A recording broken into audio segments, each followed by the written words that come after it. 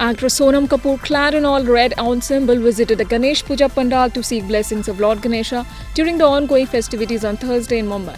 The actress is relying heavily on the bright red ensemble in order to promote her upcoming movie The Zoya Factor. Looking stunning in the red attire with her center parted hair tied in a bun, Sonam paired her look with traditional Ganpati design earring. Keeping the film promotions in line, Sonam also posted an unseen childhood picture on Instagram during the day in which she is seen twinning with younger sister Rhea Kapoor in red. She captioned, being a lucky charm in red even as a kid. Throwback Thursday, Zoya Factor. Meanwhile, directed by Abhishek Sharma, the Zoya Factor also stars South sensation Dulquer Salmaan and is slated for September 20 release.